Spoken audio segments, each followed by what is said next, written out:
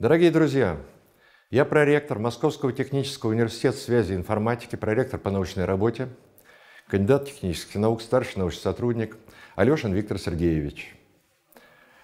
Я хотел бы рассказать вам про историю телефона.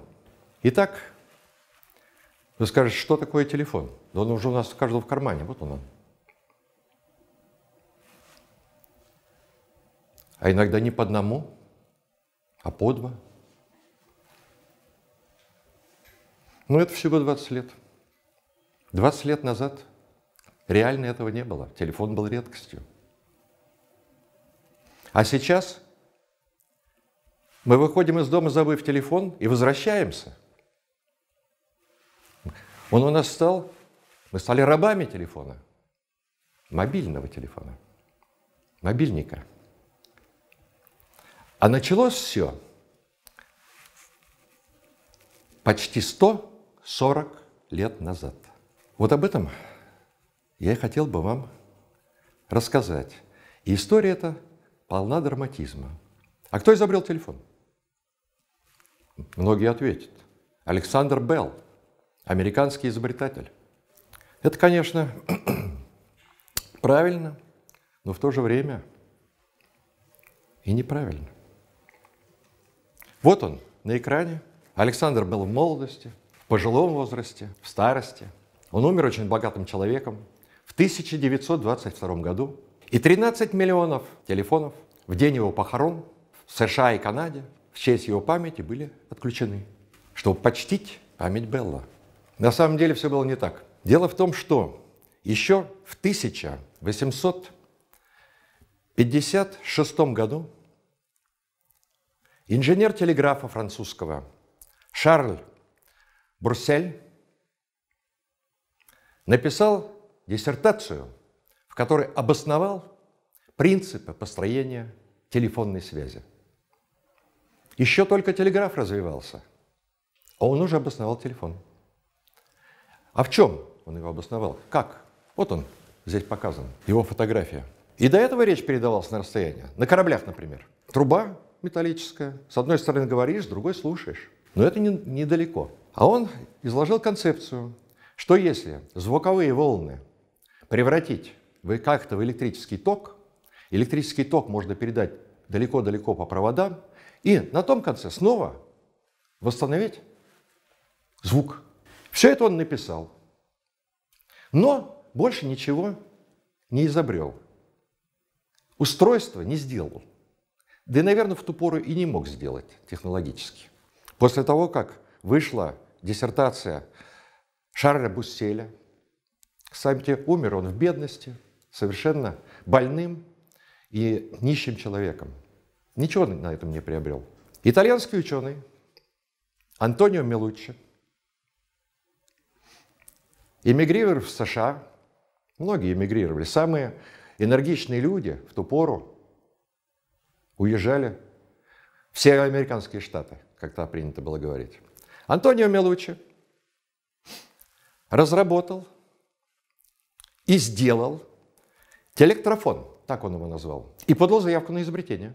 И в 1860 году уже продемонстрировал его в действии, а в 1871 году заявку на патент. Но дальше он не умел превратить свои идеи, свои наработки в живые деньги – Немец Иоганн Филипп Рейс уже в 1861 году, чувствуете, как быстро все развивается, через год предложил свой вариант телефона и тоже назвал его телефон. Он состоял из гальванической батареи вверху, микрофона очень оригинальной конструкции и громкоговорителя. Но, к сожалению, качество работы этого аппарата было достаточно низким. Музыка через него шла, а вот речь разобрать было практически невозможно. Поэтому он не получил дальнейшего развития. И был еще один изобретатель, Илайша Грей, который на бумаге сформулировал не просто концепцию, но и конструкцию этого телефона. Кстати, потом они с Беллом долго судились, и кончилось тем, что Белл купил у него это изобретение. Ну а что же изобрел Белл? Каков его вклад? Начнем с того, что Белл вообще сам шотландец, эмигрировавший сначала в Канаду, потом в Соединенные Штаты. Вот совершенно не разбирался в электротехнике. Вообще-то он учил детей глухонемых. И перебравшись в Америку, э, так сказать, занимался, у него мать была глухонемая, перебравшись в Америку, занимался разработкой визуализации речи с тем, чтобы глухонемые могли как-то понимать, что им говорят. Практически он делал прототип осциллографа. То есть звуковые волны пытался перенести на какой-то носитель, чтобы их можно было увидеть. И достиг определенных успехов. И сделал методику даже по обучению. Это не принесло ему, правда, больших дивидендов, но стал профессором Бостонского университета и получил лабораторию. А следовательно, мог дальше продолжать свои исследования. А вообще он всегда хотел сделать телефон. Он просто не знал как. Потому что плохо понимал в электротехнике вообще. Когда у него появились небольшие деньги, он привлек молодого мальчика, очень талантливого. Звали его Томас Ватсон. Он его типа лаборанта был. И очень многое сделал. Очень сильно ему помог. Потому что вот этот мальчишка, он болел электротехникой. Ну и надо сказать, что э, Белл подружился с Джозефом Генри. Это тот самый великий физик, именем которого названа инду- единица индуктивности. И он очень много помог Беллу понять, что у него получилось. Дело в том, что известнейшая американская богатейшая компания Western Union, которая занималась телеграфной связью, объявила конкурс и большой денежный приз тому, кто разработает систему передачи телеграмм, нескольких телеграмм одновременно по одному проводу. Ну и поскольку деньги Беллу были сильно нужны, он занялся проведением экспериментов. Как бы сразу несколько телеграмм, а поскольку он очень любил музыку, то он взял за основу значит, технологию губной гармошки. В ней, как вы знаете, вот показана внутренность губной гармошки, сделаны прорези, в этих прорезях колеблются язычки, правильно называть, металлические пластинки упругие, каждый на своей частоте. Ну и он решил, что вот мы это дело возьмем и будем передавать типа музыки на разных нотах. На самом деле, эта идея очень правильная. И именно так потом был сделан тональный телеграф, который долго-долго развивался, сотню лет. Сейчас все это уже в прошлом. Сейчас от телеграфа осталось одно воспоминание по существу, которое называется как? СМС. Та же самая технология, только с мобильника на мобильник. Так что же он сделал? Он собрал вот такую установку, схему которая примерно вот показана на рисунке. Это магнитики, цилиндрические магниты. На них намотана медная проволочка. Вверху стоят язычки, упругие металлические язычки. Дальше все это соединяется в единую электрическую цепь, подключается батарейка, тогда это называлось гальванический элемент, правильно. И начал передавать, пытаться передавать из комнаты в комнату, проводить эксперименты. Вдруг что-то получится. В конечном итоге из его опытов ничего не получилось. Но один язычок застрял. И Ватсон ногтем его подцепил, и он задребезжал, освободился. В щели застрял. А был в другой комнате, вдруг услыхал звук, дребезжение. У него такой же язычок задребезжал. Он его прибежал, стой, ничего не трогай, ничего не трогай. И пошел рассказывать Джозефу Генри, что вот у них что-то тут такое получилось. А получилось, и он ему все объяснил, Генри, что получилось. Смотрите, магнит постоянный. В школе вы это изучали на уроках физики. Язычок стальной. Что происходит, если язычок начинает колебаться? Меняться магнитное поле.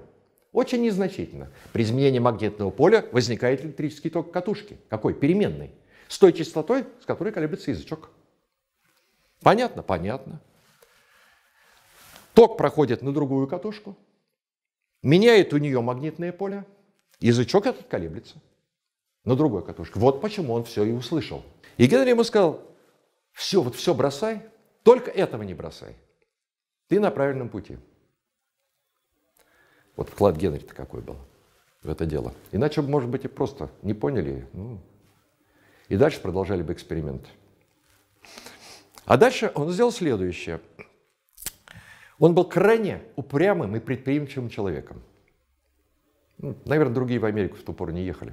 Поэтому Схватившись за это дело, он начал его доводить, чтобы можно было передать речь. Она уже передавалась, но сами понимаете, что такое язычок? Тоненький, маленький, какое на него звуковое давление. У него был знакомый врач. Ну и тот ему рассказал, вот я делал, делал. А вот тот говорит, знаешь, а зачем ты идешь по этому пути? Язычки какие-то. Все проще. Как работает человеческое ухо? Он говорит, не знаю.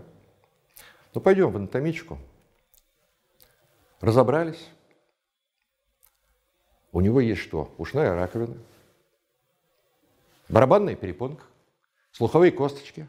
И дальше они передают звук на нервы, которые находятся в ухе. И дальше в мозг идет. И он повторил идею или уха. Как? А посмотрите, вот в левом углу, вот его телефон. Видите? Раструб – это ушная раковина. Под ней мембрана, мы ее здесь не видим. Что такое мембрана? Это кожаная, натянутая кожа, кожаный кружочек закрепленный. От нее тянется на проволочка на металлическую мембранку, которая находится над магнитом. Все, больше ничего нет. Собрав вот эту штучку, сказав в нее слово и подключив ее проводами, без всякой батарейки, к другой такой же трубке, вот другой вариант. Их много было наделано. Все это деревянное. Они получили уже речь слышимую. А дальше началось самое интересное. Значит, насколько далеко это можно передать? Да выяснилось на несколько сотен метров, не больше. Почему? Сигнал слабенький. И получилась, в общем-то, игрушка. Обычная игрушка.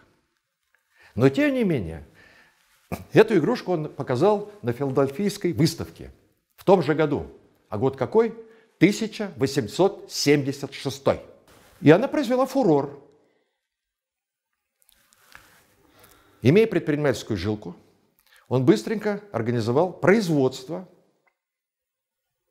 этих изделий и подал заявку на патент, который тоже получил. На самом деле, надо понимать, что эта идея носилась в воздухе. И другой изобретатель, о котором я уже упоминал, который с ним судился, подал примерно такую же заявку. Но подал на два часа позже. Это решило дело. Потом они долго судились, я еще раз повторюсь. Суть не в этом. Это еще не был телефон в нашем понимании. И это была, конечно, игрушка. Но окрыленный успехом и продав первые несколько сотен таких вот аппаратов, он получил уже приличные деньги, женился и в свадебное путешествие поехал в Великобританию. И там ему удалось как-то все это продемонстрировать английской королеве. И она была в восторге от этого. Середина, считай, середина. Э, позапрошлого века, конечно. Первый раз увидела. Ну и, соответственно, все придворные, вот, как хорошо, ура и так далее. И тогда компания Western Union, которая сначала не обратила на это внимания, американская компания Western Union, когда он вернулся из свадебного путешествия, значит, призвала, так сказать, его и вроде как давайте сотрудничать. Но он нет, он уже организовал свою компанию. bel telefoon.